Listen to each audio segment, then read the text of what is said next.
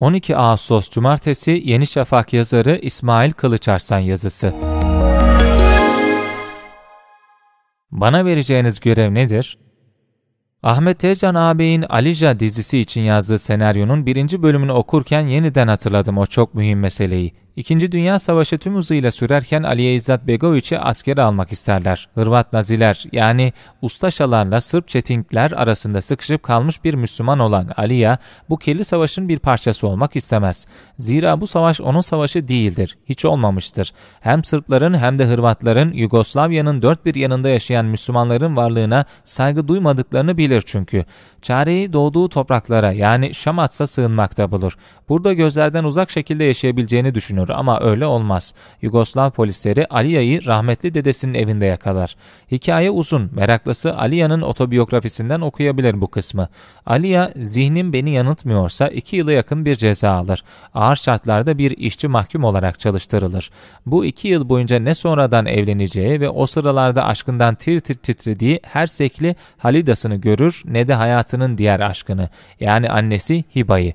Sayılı gün bittiğinde tutulduğu hapishaneden bir jip ya da kamyon arkasına atlayıp Saraybosna'ya gelir. Meselenin ek yerine geldik işte. Aliye Saraybosna'ya geldiğinde ilk nereye gider derseniz doğruca annesi Hiba'yı görüp ona sımsıkı sarılmaya mı? Hayır.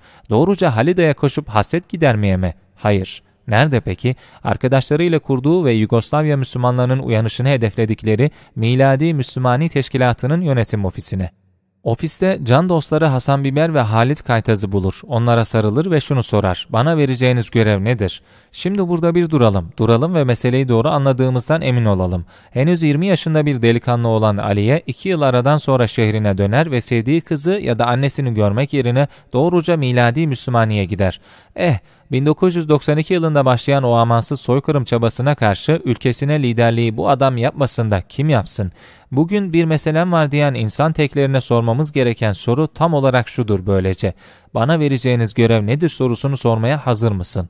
Sonra başka sorular takip eder bu soruyu. Meselen için nelerden vazgeçebilir? Hangi fedakarlıkları yapabilirsin?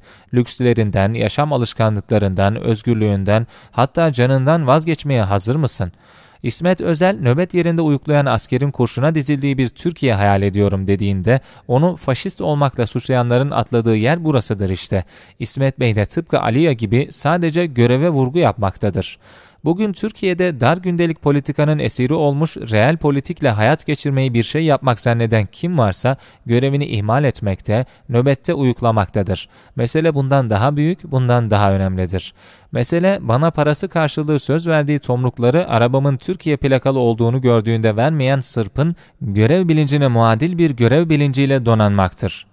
Bu köşede bunu çokça yazdım ama tekrar ve tekrar yazmaktan vazgeçecek değilim. Bütün ideolojik ve siyasi yönelimlerin ötesinde ifade etmem gerekirse, bugün görev isteyen insanların tamamının asıl görevi Türkiye ve onun bütün anlamlarıdır. Türkiye'nin var olması ve var kalmasının dünya için anlamı nedir sorusuna cevap aramaktır.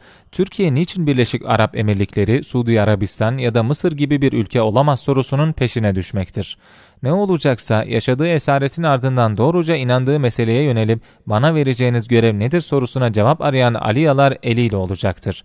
Ötesi hamasettir. Düz ovada yürümenin yolunu bulamamaktır. O halde soralım. Bana vereceğiniz görev nedir?'' Ne diyordu Ahmet Tezcan? Sen şimdi bu Alija senaryosunun ne olduğunu da sorarsın yeğenim. Alija, TRT için hazırlanan 6 bölümlük bir dizidir. Çekimleri sürmektedir. Çok güzel olacaktır inşallah.